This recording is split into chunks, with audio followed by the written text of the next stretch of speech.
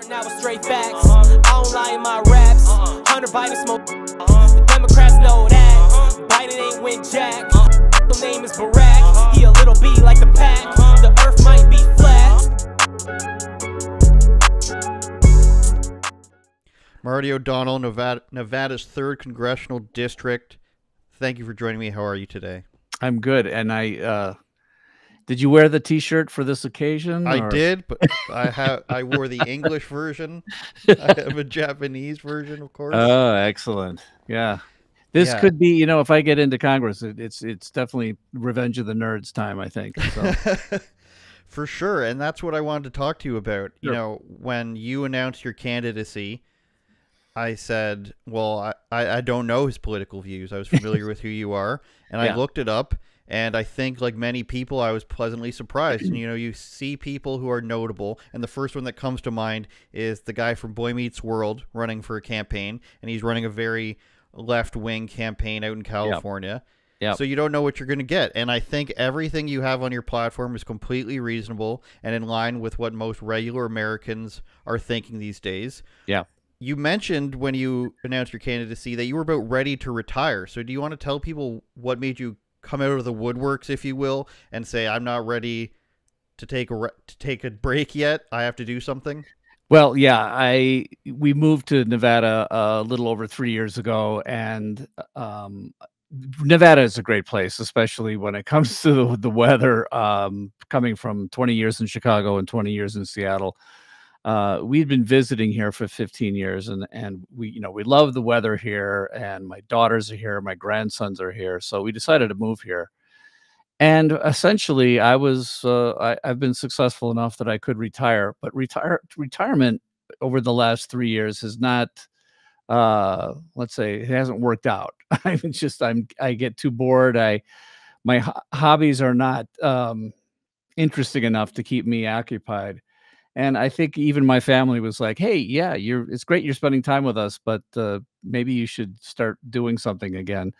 Um, I dipped my toe in the water trying to figure out what was going on with Republican politics in Clark County here uh, a couple of years ago.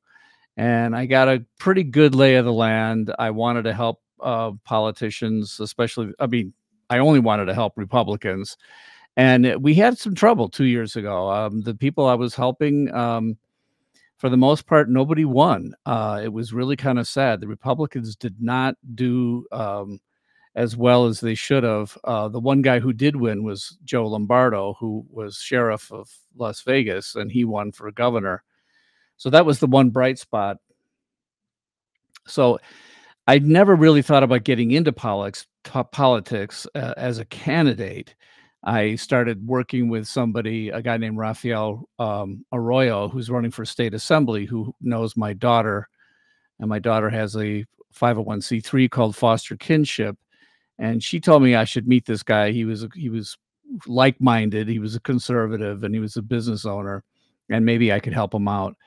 Anyway, after talking to him a little bit, I realized uh, he he had me connect with the people who he was working with, and I started talking to them and just basically offering my services. Like, is there anything I can do to help Republicans? Um, I certainly, you know, I'm willing to contribute money. I'm willing to roll up my sleeves and do some work. Um, I have some, you know, fans and some Twitter followers, a social media presence. Maybe I could bring that to bear. Uh, and then the guy named Jeremy asked me if I would be willing, have I ever thought about running for Congress? And that really kind of blew my mind. I had never thought about it other than I used to tell my daughters that all of these bozos in Congress think they have a career and they should be there for the rest of their lives and all they want is money and power and I I'm disgusted. It should be more like jury duty. Everybody should get a little notice in the mail that it's time for you to go to Congress and then when you're when you've served your time and you've done your duty, you go back home. Um, so I used to say that it should be Congress duty and it felt like at this eight this stage of my life suddenly uh, i was being asked to put my money where my mouth is and see if i would agree to do congress duty um, so that's what i did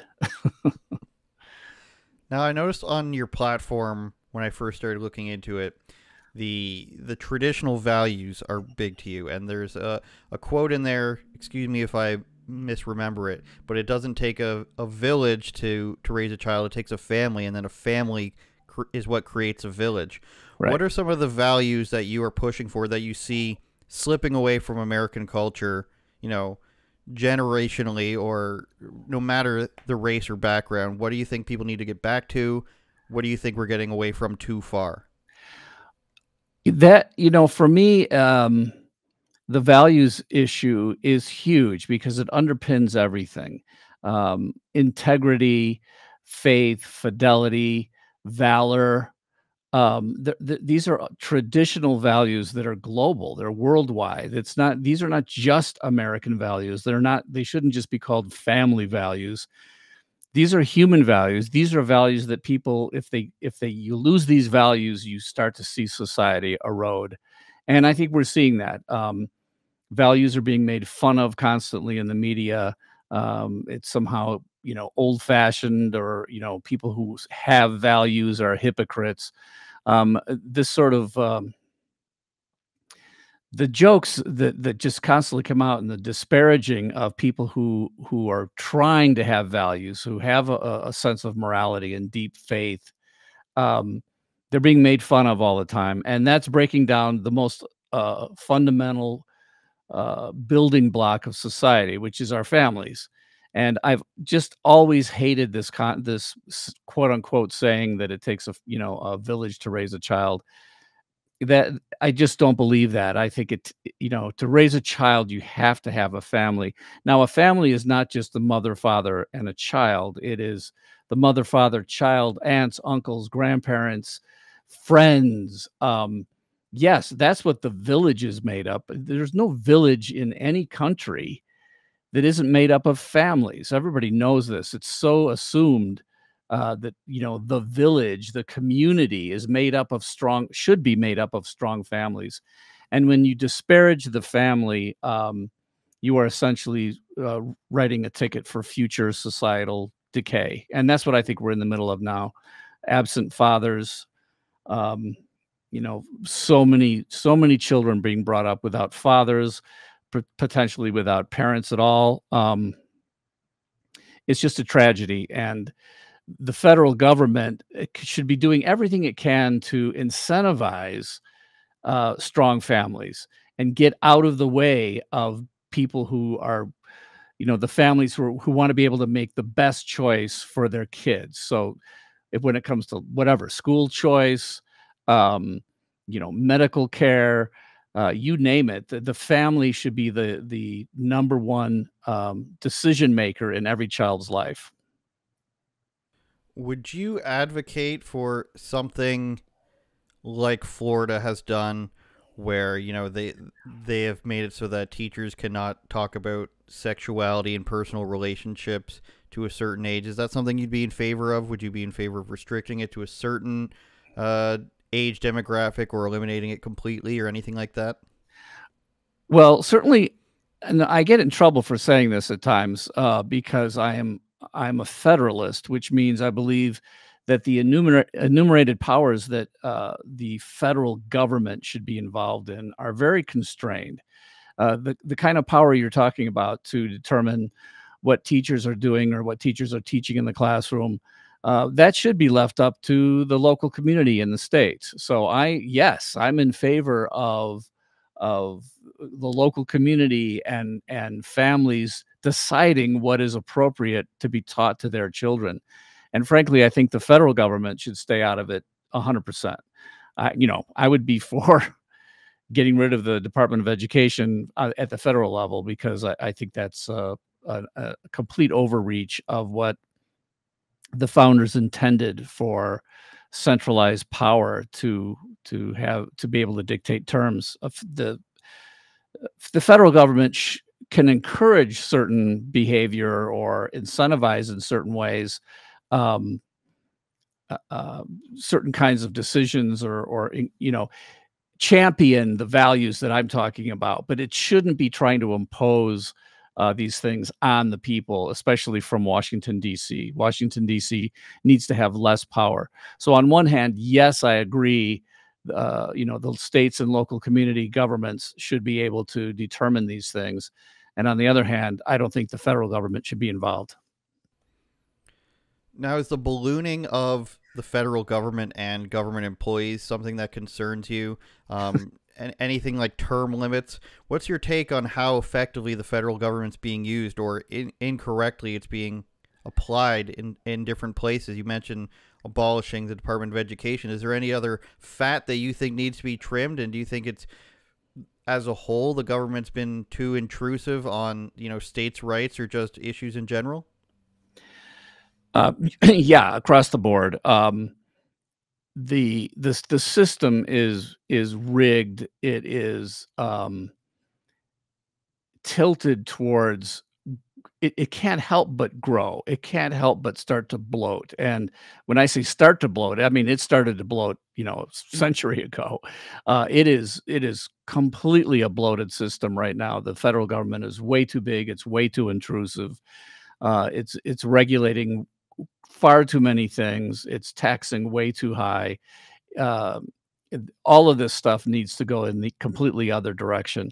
It's not what the founders intended um, when I, I have looked at how budgets even are um, kept in the military the, and every federal agency you know at the end of every quarter if you haven't spent the money that you were budgeted you lose that for the next quarter uh, or into the future and which means you're incentivized to never save money. You are incentivized to continue to spend every dime that's allocated to your whatever it is and then that's the way you're going to even get more. You're going to be able to increase on that which means why are we surprised at all that the federal government is bloated? It's it's designed to automatically inflate constantly.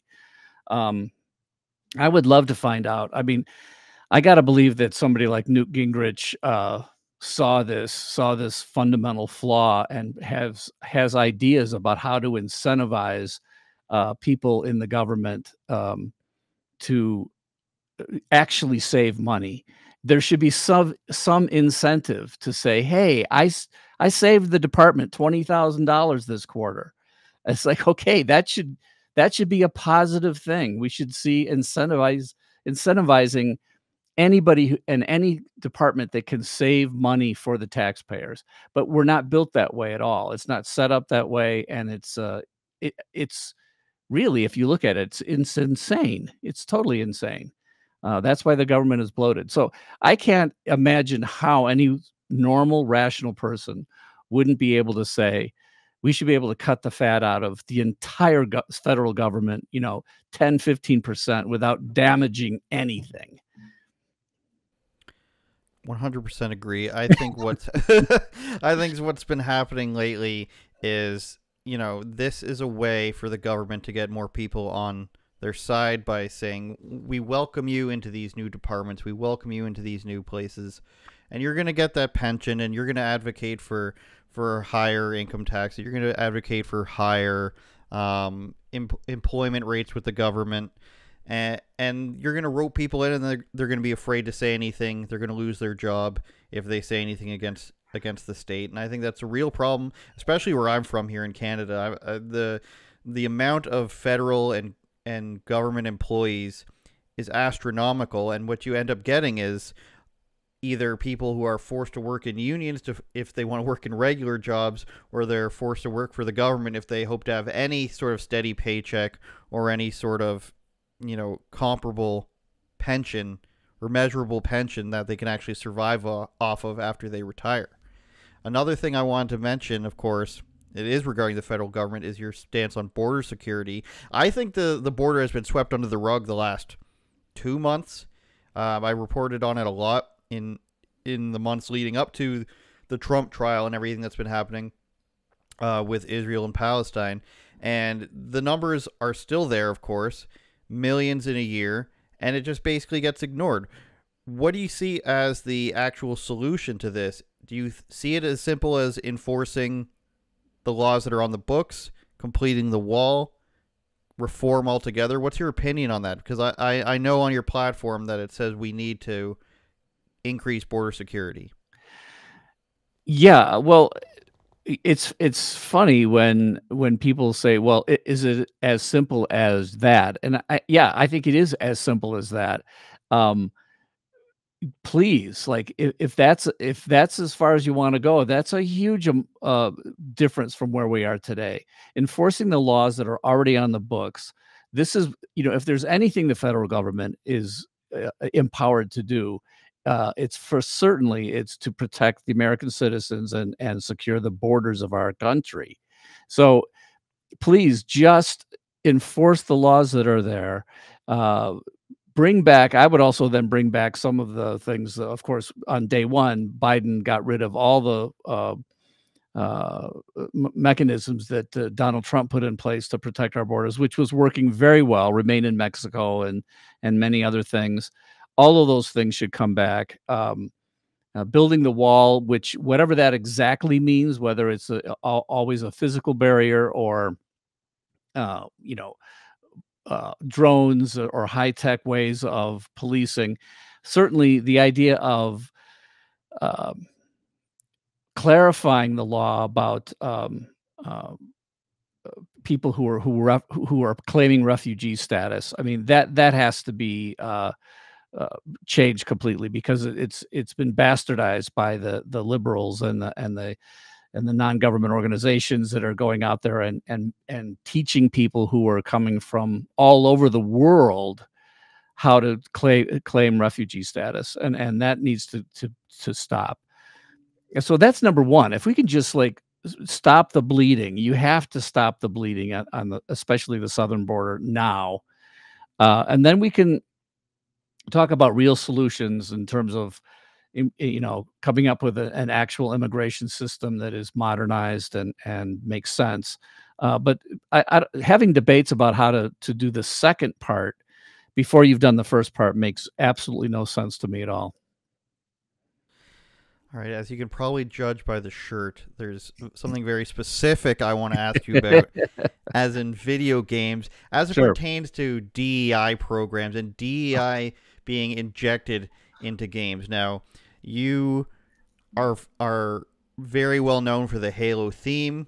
My friend Neil is going to be very jealous. Shout out to Neil. Um, what's been happening lately, and what fans are rejecting, is the forced diversity narratives in games. Now, I just got finished writing something today about how uh, Warner Brothers Games has started a program, a leadership program for women and non binary people. This comes right after they lost $200 million on a Suicide Squad video game that they hired a DEI consultancy firm to write characters for. Poison Ivy is an orange haired uh, uh, girl, for example.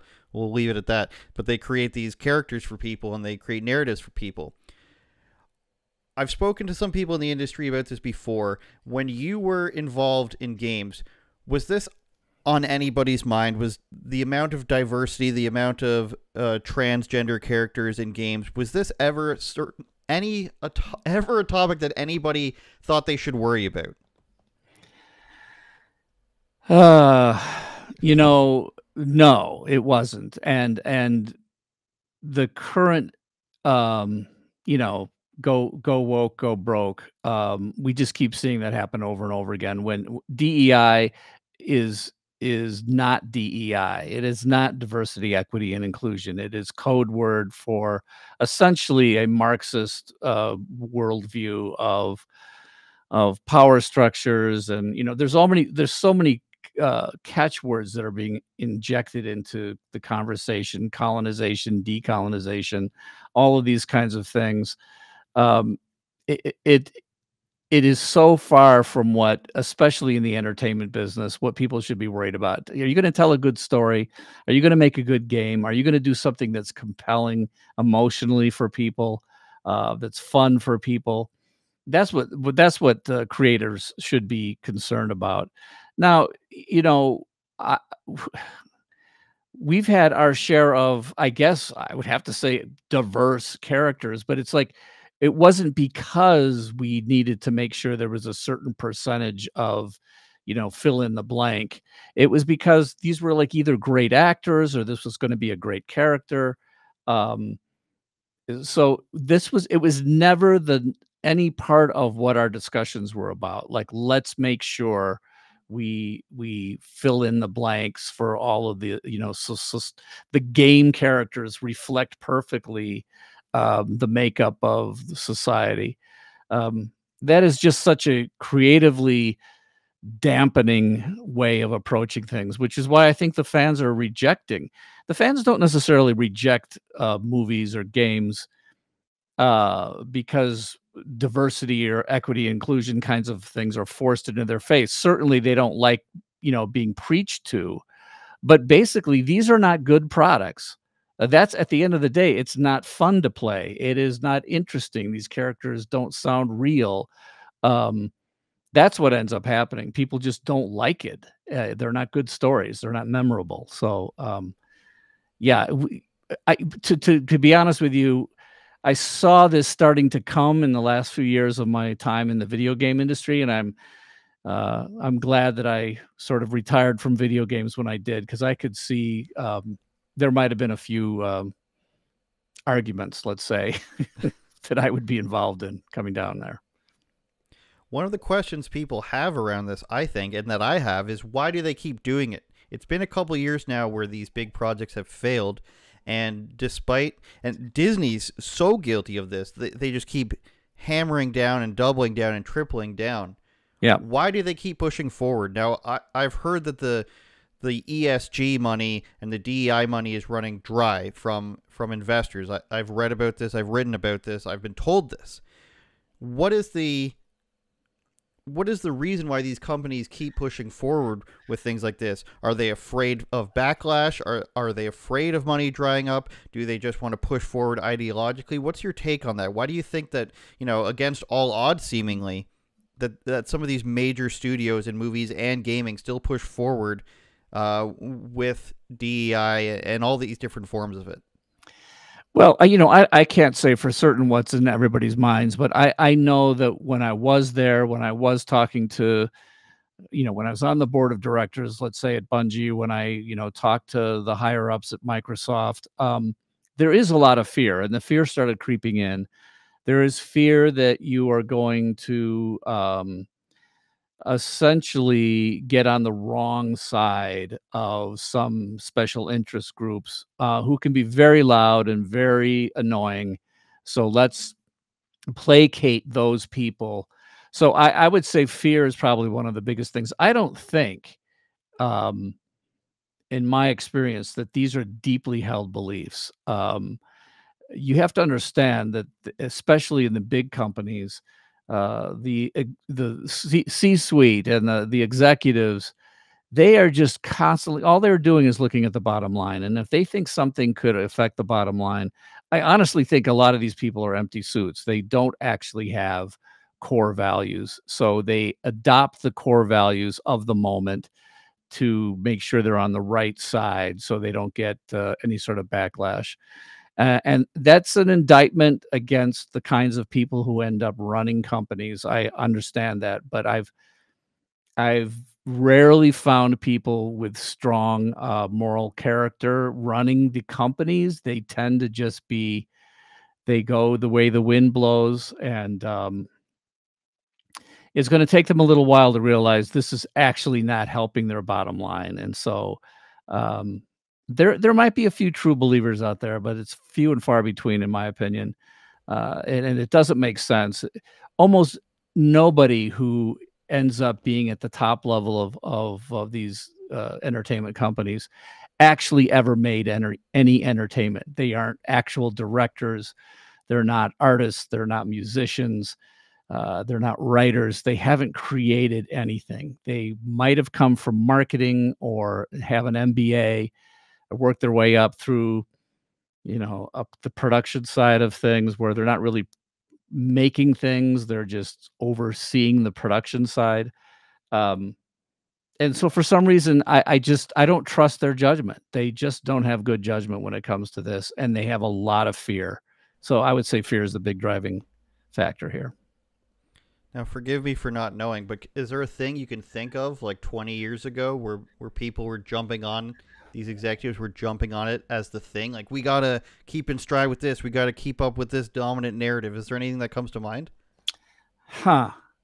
Well, uh, you know, it. I started seeing it a little bit, even during our Halo Two, uh, which goes back quite a ways. We were making Halo Two, you know, in two thousand two, two thousand three, uh, which was uh, close enough after 9-11 and if you you know you know the story of halo it's it's about this you know group of religious zealots that that uh, essentially uh, uh, believe and and you know will commit suicide in order to for you know co- you know keep their religion going.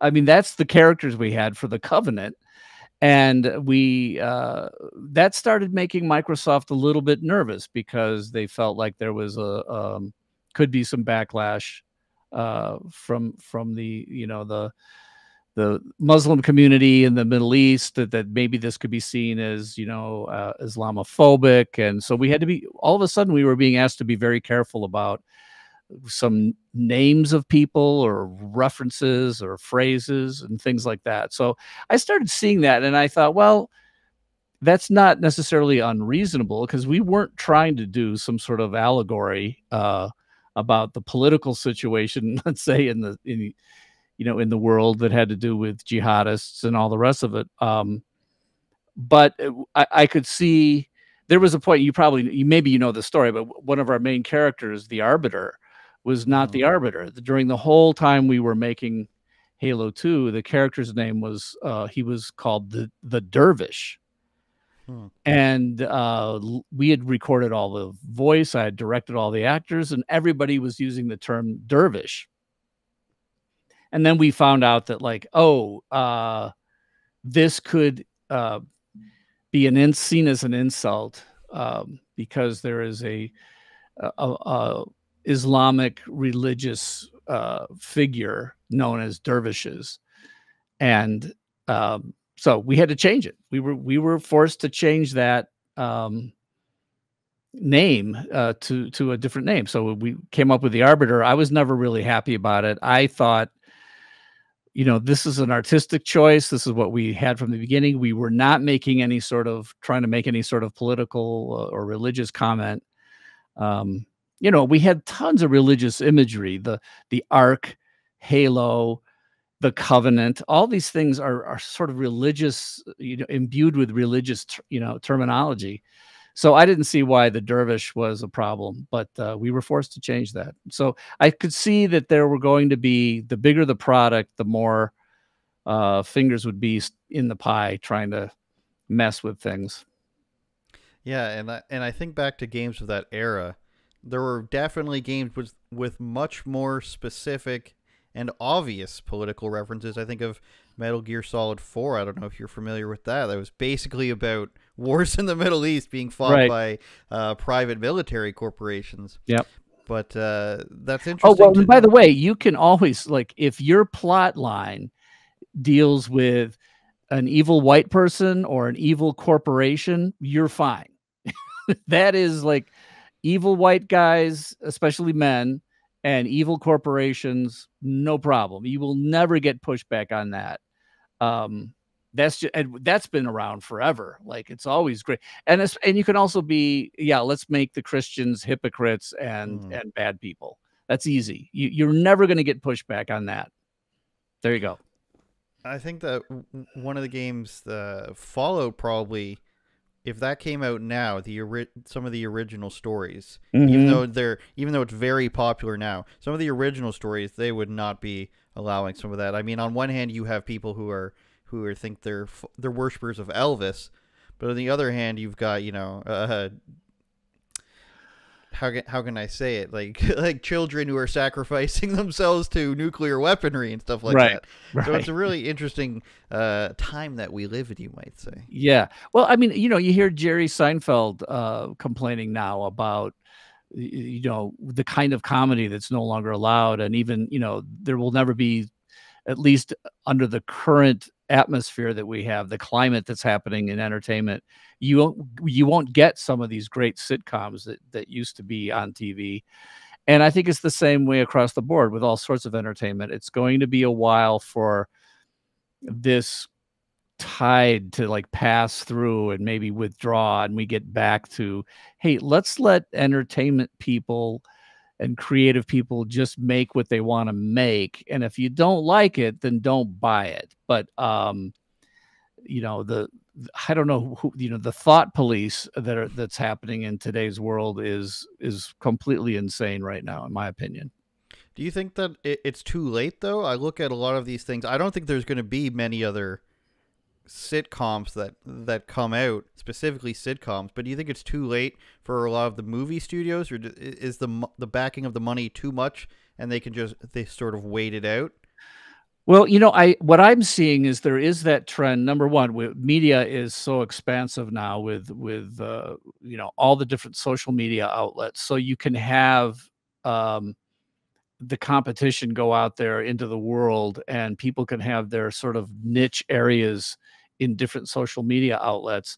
And if they're successful if people if the audience finds that they'll they'll come to it and you're getting the same thing with you know uh, crowd funded uh, uh, entertainment um, you're starting to see you know like um, for example the chosen i think is a is a really well done great series it's getting having great success it would never be produced by any normal uh, uh, established studio in Hollywood or any place else. It has to be done as a crowd funded thing, and then the audience comes and sees it. And so I think there is a tendency where where these things can become successful again, as long as nobody puts their thumb on the scale and tries to make these things go away. Um, let let the you know let the different ideas compete with each other and let different creative people create what they want to create and and and not be interfered with so i i don't know i don't think it's it might be too late for the big studios